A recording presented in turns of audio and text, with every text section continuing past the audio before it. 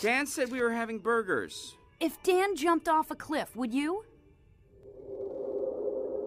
Chris, Well, I mean, I, I, I mean, it depends. don't jump off a cliff! Well, I wasn't planning on it. But if Dan jumped, you would?